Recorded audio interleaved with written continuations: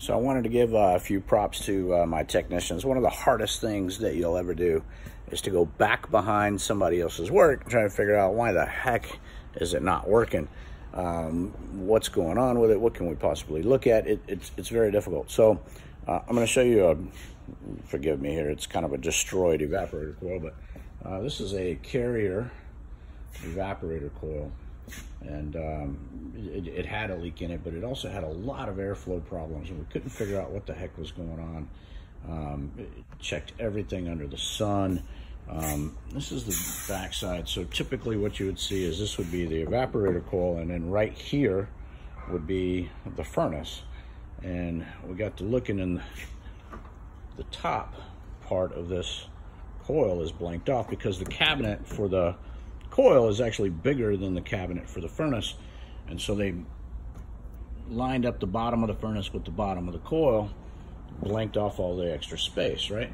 And so in most cases, I gotta be honest, look, you know, I was an installer for a very, very long time and you wouldn't think that that would be a big thing. I mean, the airflow is still gonna go across the evaporator coil. And so my tech took a little bit of time, we did some digging, and here's what we found. So this is actually the installation guide.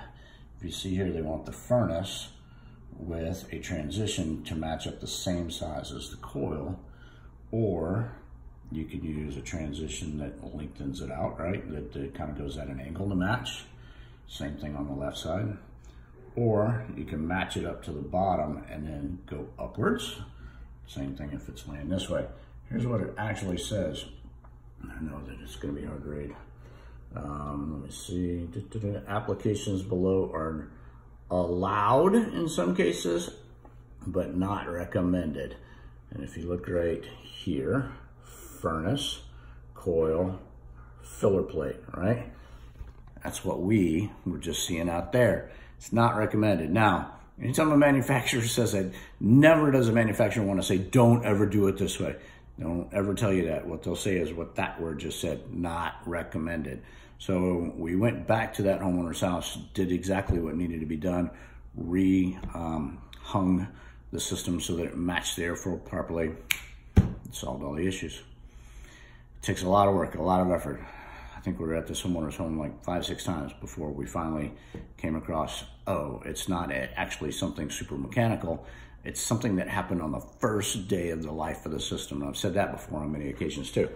The most important day of the life of your AC system is the day it's installed. It's not really the manufacturer or who made it or what the brand name is. It's the installers that put it in that's going to decide whether or not that unit's going to last you for 15 or 20 years or if it's going to start going bad at 8 or 10 years. So anyway, props to the tech. Did his homework.